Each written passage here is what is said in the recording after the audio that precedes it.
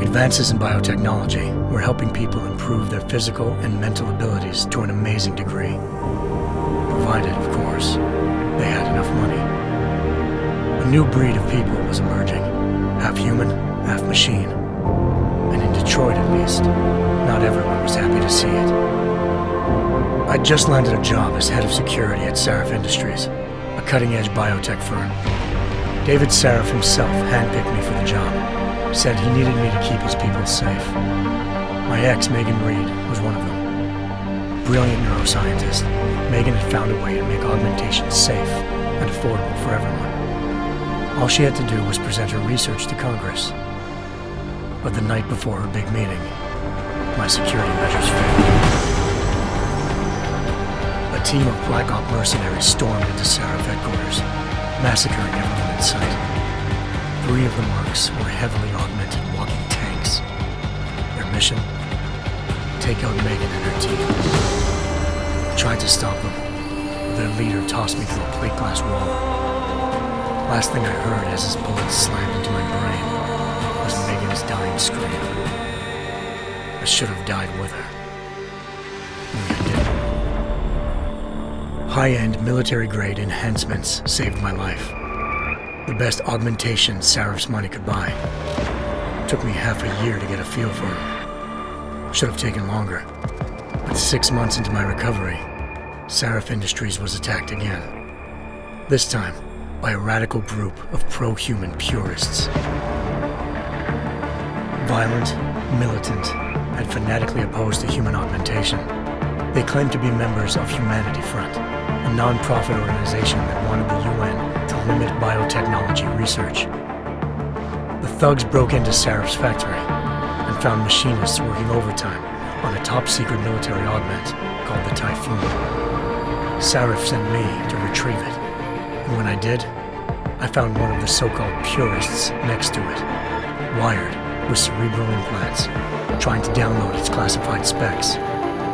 Obviously, something more was going on. The aug killed himself before I could question him.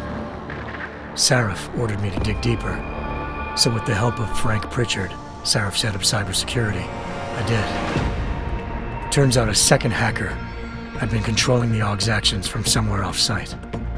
Pritchard and I tracked his signal to a secret FEMA internment camp in Detroit. The Black Op mercenaries were there. The same mercs who'd left me for dead six months before. Figured they'd try again when they saw me. Wasn't so easy for them this time. I took out the tank named Barrett. Even got him to give me a new lead. A penthouse apartment in China. Of course, we both knew it would be a trap in the end.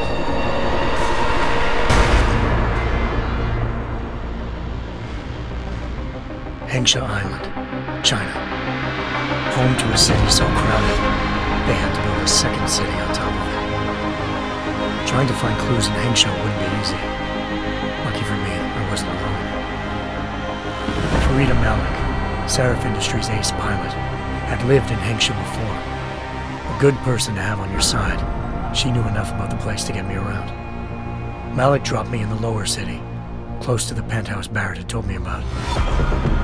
Belltower Associates, a private security firm under contract to the Chinese government, had agents tossing the suite when I arrived. Just not for the reason I'd been expecting. Turns out the man who lived there was a criminal hacker named Van Bruggen. The same hacker who'd been remotely controlling the aug in Sarif's factory. Van Bruggen's panicked decision to force the man to commit suicide had been a mistake. Now his mercenary partners were gunning for him, and I needed to find him before they did.